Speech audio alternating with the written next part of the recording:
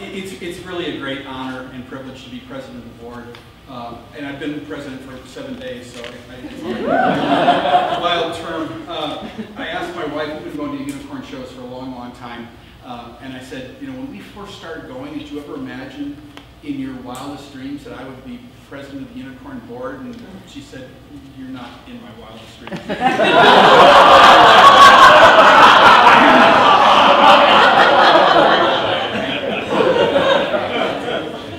my relationship with the unicorn began uh, in 1987, and I was a young, younger uh, college professor at Graceland University, and we needed to see shows. And so I, at that time, you know, the internet didn't exist, so I went to the phone book and looked up theaters in Kansas City and Des Moines, and I took a flyer without knowing anything about it to a little theater called the Unicorn, and that year, I took my class to see Glengarry Glen Ross. Ah, it's a great, uh, one of those Pulitzer winning, Pulitzer Prize winning plays that was first done at the Unicorn.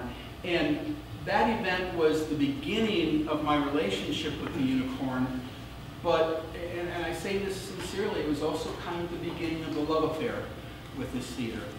And I say that because I don't know of a place that is predicated on the belief, as much as we do, that theater is serious, that theater has to be done, that as a society we must have theater to show us who we are in all of our greatness and all of our imperfections.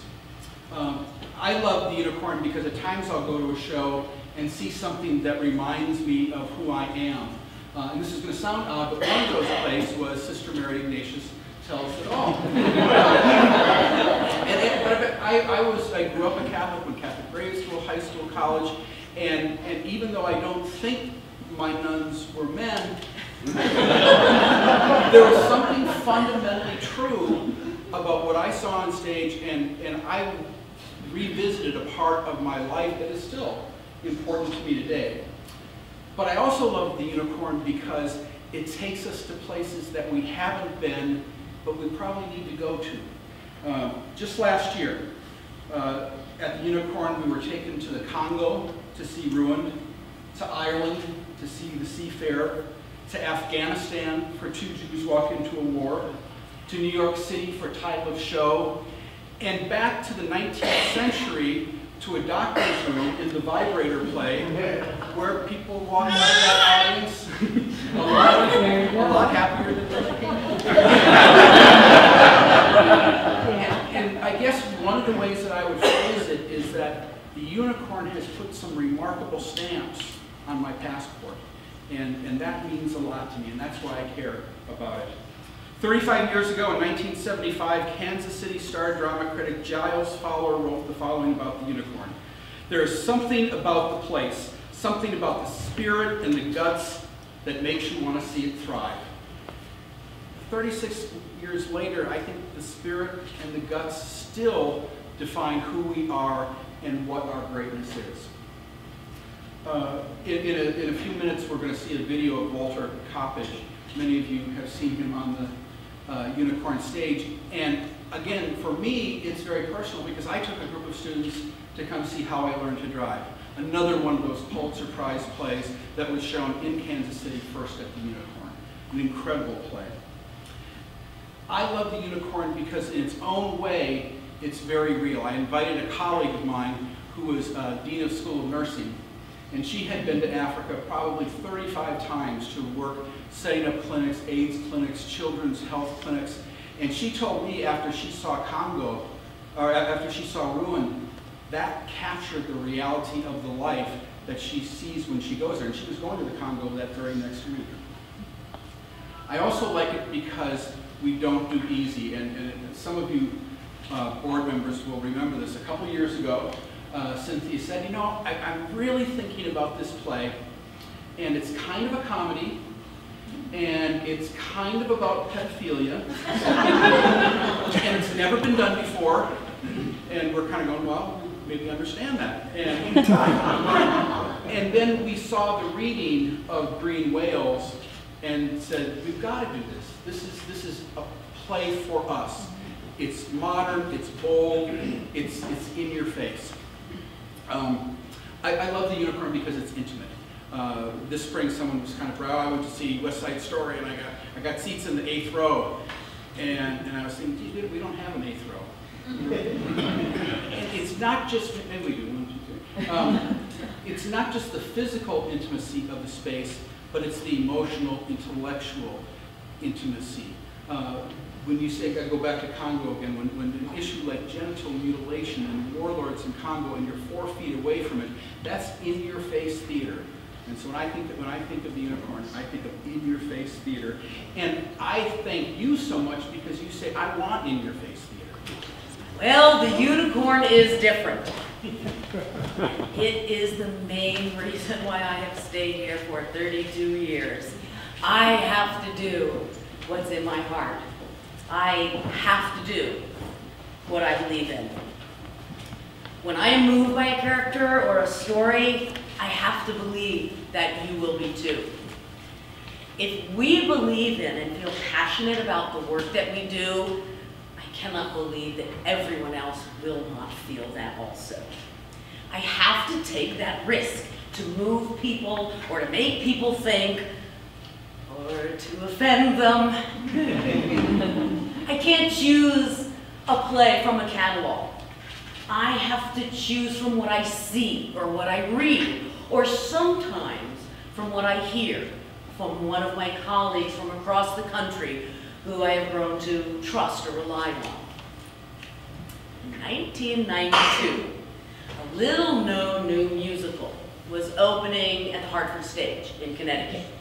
And I had heard about this play, and I thought, we need to do this play at the Unicorn Theater. No one else will do this play in this city. It was about the family. It was about a husband and wife whose son was about to be bar mitzvahed when the husband leaves the wife and takes up with another man who ends up getting a mysterious disease and is taken care of by the lesbians from next door. How could I not? Called the director, uh, Graciela Daniele. I talked to her and several people who were uh, working on the production, and I immediately sought out the rights to do this play. Now, this happened to be a bad year, a very difficult year for the arts in general. And in fact, we didn't even know if we were going to make it to the end of the season. Hmm, not like the last two years have been, although we had far fewer resources back then. So the board wondered if we shouldn't not do this big musical with a dozen people and a four-piece band and maybe try to do something a little less expensive, like two people, two little people. but I knew we had to produce this play, and I knew I had to direct this play. And I knew we had to tell this story. So the board decided to take that risk with me. The play was called Falsettoland. And right after we were given the rights, we and one other theater in the United States, the producers decided to take this play to Broadway. And no one else was allowed to do this play. But I had the rights, so we proceeded with the production. And the week before we opened, it won the Tony for Best Play. and we sold out every performance for an unprecedented two months. And it was the greatest artistic and financial achievement that we had ever had. We made enough money with that show to completely wipe out our debt. It changed how people perceived the Unicorn Theater in this city. And it's because the unicorn listens to its heart and we take risks and do things that no one else will do in this city. That got me started thinking about we need another stage. We need another theater so that when we have successful shows, we can extend the run. We need another theater so that we can develop new plays and have extra time for rehearsal and work with playwrights. So lo and behold, we got a new theater. But working with new and contemporary theater is a blessing and a curse. We have to be willing to change depending on what kind of plays are being written that year. We have the space to create, but the needs of playwrights and artists keep evolving. We need more development and rehearsal time. We need to have a more flexible space to accommodate them. We need to tear out these seats and put the stage wherever we need the stage. These are things that we need to do in the future. We need to be able to grow to ensure the future of the American theater.